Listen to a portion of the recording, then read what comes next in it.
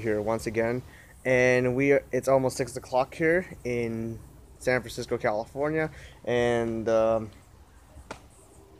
California sun is coming down, and I just want to wrap up this wrap up this night, I believe, this evening, for a question that mm, some people may ask me or other people out there in the airsoft world, uh, especially newbies. Do airsoft the question is do airsoft guns are, are airsoft guns dangerous or and can they kill people? Re- and i my answer is yes and no. Reason why i say no is with most airsoft guns they do they look they do look like real guns. Yeah uh, i understand that. But also if you look to the look at this this orange tip it's not uh, people will know that's not a real gun. Then that's what you understand. But here's the catch, though. The reason why I say I counter counter uh, counteract that, I mean I say this the thing opposite that of my point. Like, okay, it's a yes and no. Okay, what's the yes part? So the yes part, I say that airsoft can kill people is because, or at least can create a serious harm to people. Is this right here?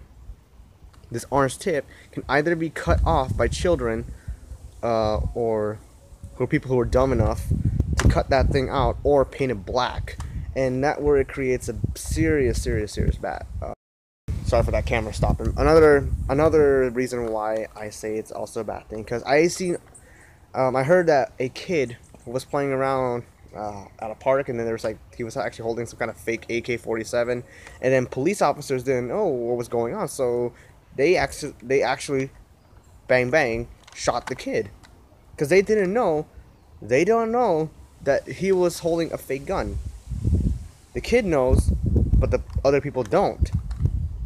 And that's that's what happens if you paint this black. That's why uh, that's that's actually one of the reasons. That's actually the reason why with airsoft or BB gun manufacturers put these on, put these orange tips on, so people will know that that's not a real gun. Uh, and I understand uh, airsoft is a new hobby. Uh, it's a really popular hobby. A lot of kids, I've seen a lot of kids and teenagers play around with it. I have a friend of mine who plays air, with airsoft guns, and he's in an airsoft team. But uh, my point is, and my suggestion is, do not paint these black.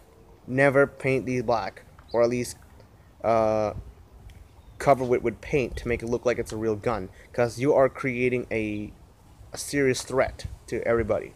I understand airsoft. Like I said, airsoft is a fun game. It also teaches our discipline and, and self defense. Because we we live here in America, we have the right to bear arms. We understand that.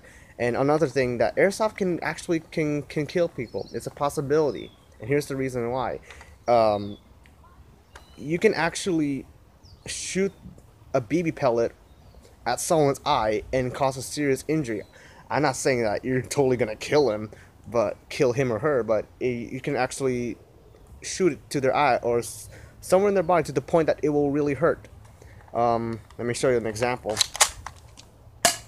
Uh, I don't know. I know you didn't see that, if, but there's actually a BB pellet that was shot there. Um, hold on.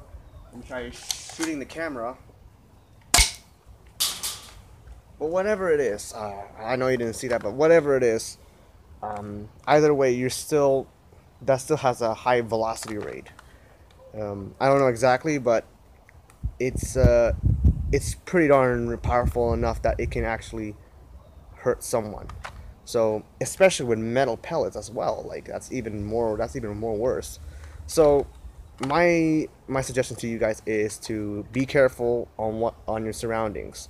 I understand you can have this as your self defense, but if you don't know what you're doing, you're gonna be suffering into severe consequences.